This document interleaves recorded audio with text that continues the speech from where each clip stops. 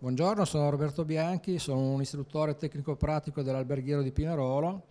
e sono qui per presentare la Community Prever, una comunità virtuale eh, costruita per la didattica in rete come strumento di digitalizzazione delle attività.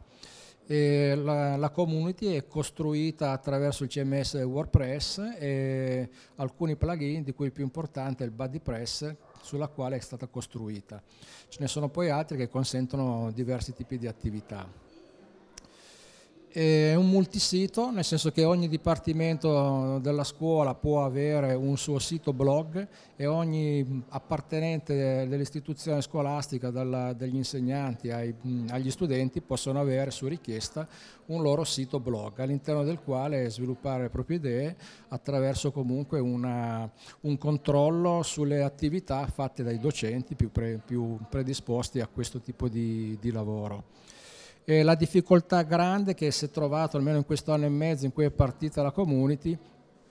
è far accettare un nuovo sistema di lavoro che, che richiede alcune conoscenze tecniche sull'uso di strumenti definiamoli innovativi che però sono ormai sul mercato almeno del software e, del, e dell'hardware da diversi anni come i CMS.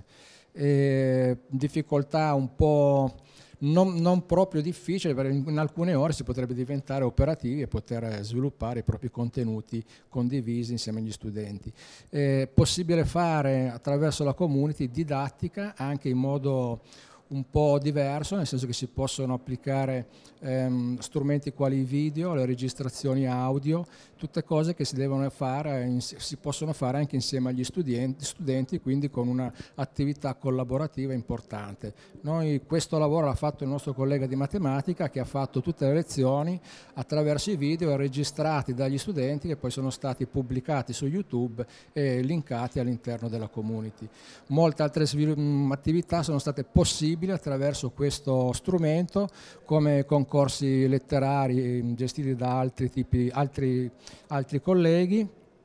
attività ricreative che sono al di fuori proprio di quello che è l'ambito dell'alberghiero, come i disegni, attività grafiche e alcune altre cose. Eh, questo tipo di attività per quello che è l'alberghiera è anche un po' strano perché noi non siamo una scuola eh,